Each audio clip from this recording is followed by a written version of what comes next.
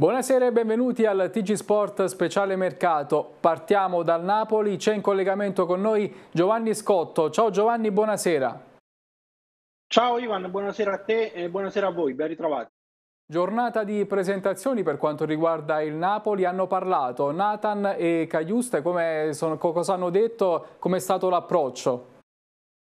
Eh, sì, sì, una doppia conferenza stampa oggi a Castelvolturno. Si è presentato prima eh, Nathan, il difensore brasiliano, l'erede di Kim, ha detto di ispirarsi a eh, Thiago Silva, un, un, idolo per lui. Evidentemente eh, si ispira a uno dei difensori brasiliani più forti e si è presentato anche con un discreto italiano, dimostrando quindi anche eh, grande intelligenza e anche voglia di ambientarsi il prima possibile. Ha detto che ha lavorato duramente eh, per um, farsi notare da un club europeo, coronando quindi un suo sogno ed è pronto a questa avventura. Seguirà i consigli ovviamente di Juan Jesus, suo connazionale, ma anche di Mario Rui che ha citato, eh, che evidentemente parlando portoghese insomma, lo sta aiutando eh, ad ambientarsi. Per quanto riguarda Caiuste, eh, discorso più o meno eh, simile, ha parlato in inglese, lui si è presentato come un calciatore duttile, grande umiltà, ha detto non sono qui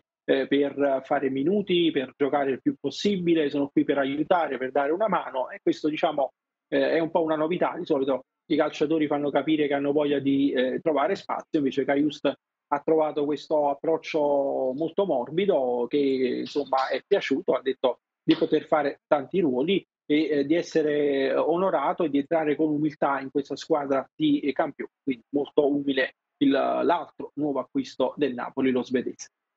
Bene, quindi i tifosi hanno conosciuto i primi due acquisti del Napoli. Per quanto riguarda invece questo braccio di ferro che c'è tra De Laurentiis e la FIGC per il caso Spalletti, si rischia addirittura il tribunale?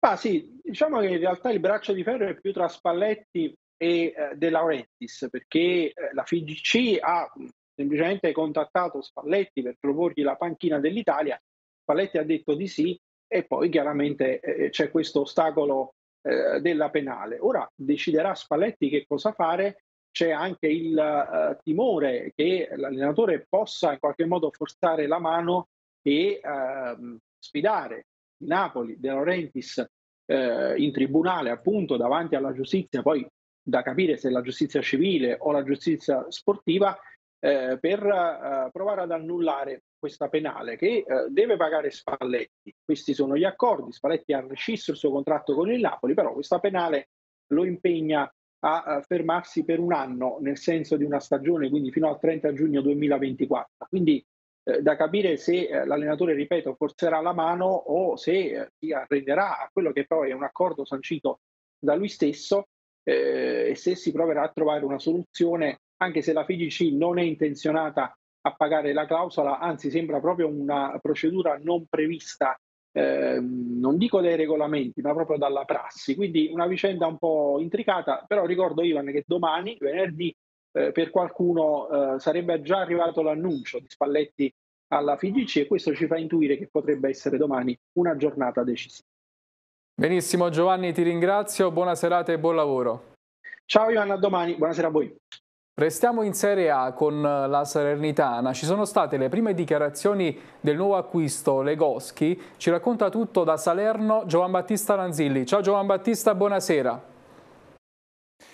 Sì, eccoci, buonasera, ben ritrovati. Dopo giorni di estenuante attesa possiamo dire che il mercato della Salernitana di fatto ha subito un'importante accelerazione. In queste ore infatti il direttore sportivo Morgan De Santis ha di fatto definito quattro nuove operazioni in entrata.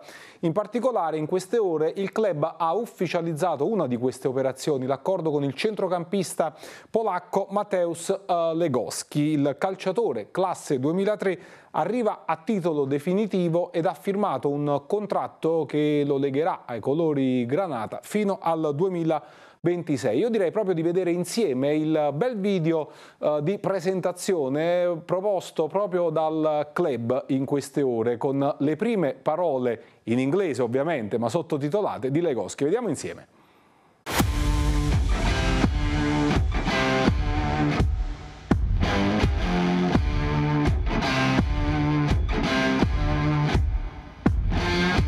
I'm very happy to, to be here to sign for uh, Salernitana. Uh, the club and the, the city is, is very nice. Uh, I met already guys in, in the dressing room uh, and they are also very friendly and uh, they want to help me.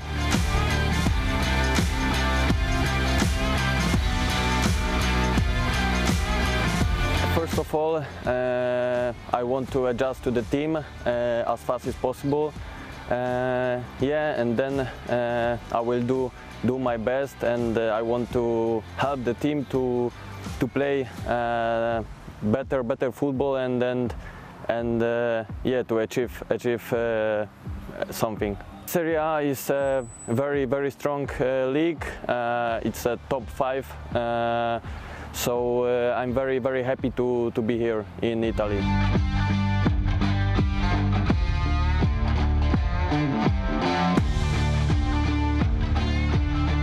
Like I, I said before, uh, I want to, first of all, I want uh, to help the team uh, to be stronger and uh, and also I want to have uh, numbers, goals, goal and goals and assists.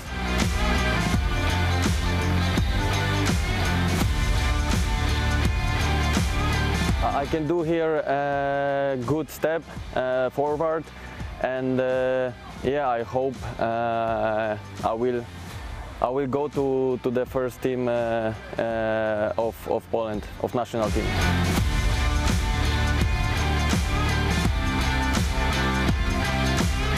Ciao a tutti, Farola e Massimo, Forza Salernitana. Queste dunque le prime parole da calciatore della Salernitana di Legoschi. Intanto oggi Antonio Candreva ha celebrato un importante traguardo per la propria carriera, quello dei 100 gol siglati, l'ultimo messo a segno uh, in Coppa Italia contro la Ternana che ha consentito tra l'altro ai Granata di passare il turno e di sfidare la Sampa. Vediamo proprio la grafica utilizzata da Mastantonio, come ormai l'hanno ribattezzato affettuosamente i tifosi Granata, sui propri profili social. Candreva ovviamente che prima della Salernitana ha indossato le maglie di Livorno, Juventus, Parma, Cesena, Lazio, Inter e della stessa Samp, non vuole ovviamente fermarsi a quota 100 ed intende regalare anche altre soddisfazioni proprio al popolo granata. E intanto prosegue la marcia di avvicinamento della Salernitana alla prima partita di campionato in programma all'Olimpico contro la Roma. Per mister Paolo Sousa ci sarà da uh, fare i conti con una vera e propria emergenza in difesa. L'obiettivo è provare a recuperare almeno Matteo Lovato, uscito malconcio dalla sfida di Coppa. Il test di oggi ha dato esiti confortanti e nello staff del Cavalluccio Marino c'è fiducia. Chi invece non sarà sicuramente del match è Lorenzo Pirola. Lo stop però non dovrebbe essere lungo, ma le sue condizioni saranno valutate nei prossimi giorni. Sosa non ha ancora deciso se eh, confermare la difesa a 3 con Lovato, Fazio e Ghiomber contro la Roma oppure possa, passare alla retroguardia a 4 in un pacchetto nel quale non ci saranno né Daniliuk né Bron. I prossimi allenamenti saranno dunque decisivi per eh, l'allenatore uh, portoghese per sciogliere le riserve di formazione. Queste dunque le novità e le ultime notizie che arrivano dalla Salernitana. La linea può tornare allo studio. Grazie Giovan Battista per quanto riguarda le notizie sulla Salernitana e passiamo adesso al Benevento con Marcello Carli che vuole completare il centrocampo dei giallorossi e per tale motivo il mirino è finito su Agazzi della Ternana, quindi eh, c'è questo discorso in bilico. Per quanto riguarda la difesa invece tra gli obiettivi del Benevento c'è il terzino Berra del Sud Tirol. Invece per quanto riguarda le cessioni quella di domani potrebbe essere una giornata decisiva per quanto concerne l'addio di Viviani che, potrebbe, che andrà sicuramente al Cosenza, eh, quindi ritroverebbe Fabio Caserta. Si conclude questa telenovela con, con Viviani che quindi andrà al Cosenza, tornerà quindi in Serie B e l'abbiamo visto Viviani comunque eh, il Benevento eh, ha cercato di cederlo, il Cosenza ha mostrato un interessamento alla fine si è trovata la formula giusta con il centrocampista che quindi andrà in Calabria. Intanto quest'oggi il Benevento ha ufficializzato l'arrivo di Pinato, quindi ha firmato il contratto, eh, il quarto acquisto di Marcello Carli. Sonia Lantella è andata al Ciro Vigorito, l'ha intervistato, ascoltiamolo. Marco Pinato, fresco di firma, un triennale con il Benevento, insomma Eri quasi al Catania, poi hai preferito la società giallorossa. Sì, sì, no, beh, è arrivata un'offerta importante e onestamente non c'è stata neanche una trattativa perché ho detto subito di sì e niente, sono contentissimo di essere qui, spero che vada tutto bene, dai. Eri svincolato chiaramente per la mancata iscrizione del Pordenone, hai avuto modo di allenarti, ti sei fatto seguire? Sì, sì, no, beh, io ho un mio preparatore personale a casa a Monza, ovvio che magari adesso bisognerà mettere altri minuti nelle gambe perché ovviamente eh, non è come allenarsi con la squadra, però penso che si abbia il tempo per fare tutto e iniziare bene il campionato. Conosci un allenatore che beh, qui ha fatto la storia, eri il pupillo di Filippo Inzaghi, ti ha contattato? Sì, sì, il mister mi ha scritto, beh io e il mister abbiamo un rapporto che va oltre il calcio, quindi lo sento nel quotidiano per altre cose, oggi mi ha scritto che eh, si è speso quindi di fare bella figura, ho detto che proverò a, a, fare il massimo che posso fare per non deluderlo.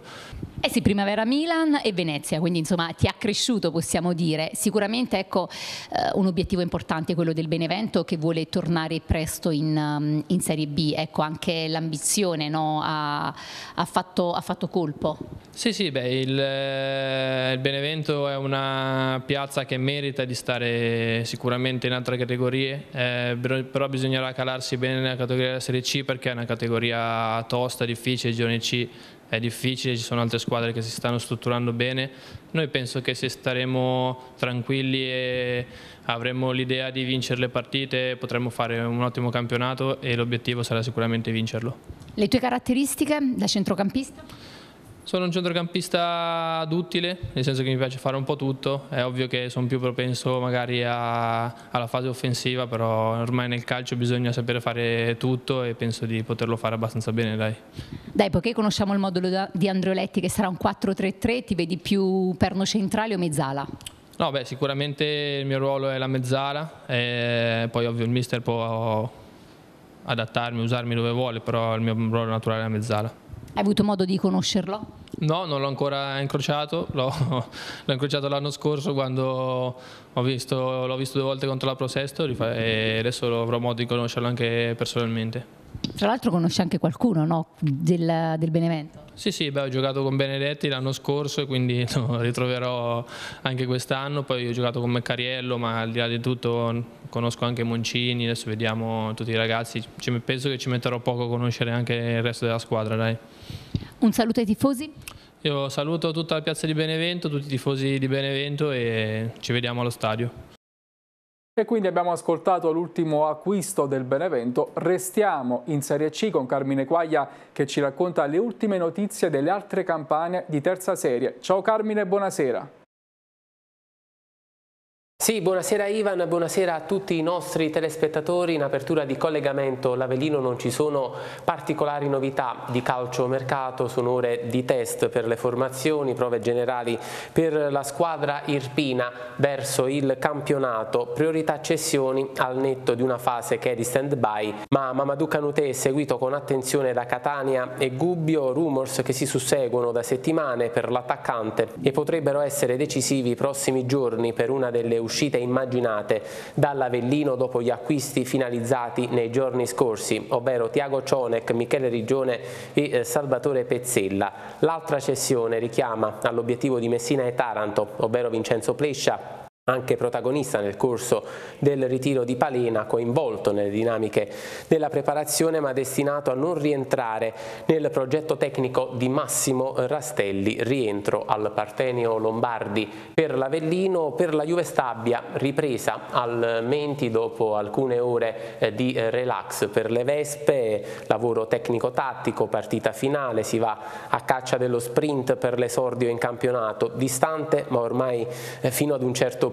Eh, rientro dopo la pausa di due giorni garantita dallo staff tecnico al termine del test con il Picerno in cui i Lucani hanno superato le Vespe con il finale di 2-0. Sono previsti altri allenamenti congiunti verso il weekend del 3 settembre, fase in cui si aprirà ufficialmente la stagione. Sarà test con il Monterosi in trasferta, nel frattempo sul fronte mercato c'è l'arrivo di Giuseppe Leone per il centrocampo biennale per l'ex Siena già allenato da Guido Paiuca nel club eh, toscano. Ripartenza anche per la Turris, è in programma domenica un nuovo test con la nocerina al Liguori, nella rosa dei Corallini dovrebbe esserci la conferma di Paolo Frascatore, c'era il Cesena sul difensore classe 92 ma l'affondo vero e proprio non è arrivato. La Turris inoltre aveva posto un limite temporale all'eventuale uscita di Frascatore per le dinamiche di mercato e per Bruno Caneo il calciatore è un elemento chiave, convinti che rimarrà